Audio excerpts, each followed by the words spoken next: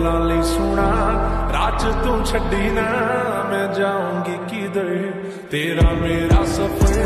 ਰਿਹਾਏ ਜੋ ਗੁਜ਼ਰ ਮਜ਼ਾ ਤਾਂ ਆ ਰਿਹਾ ਤੋਂ ਲੱਗੀ ਜਾਵੇ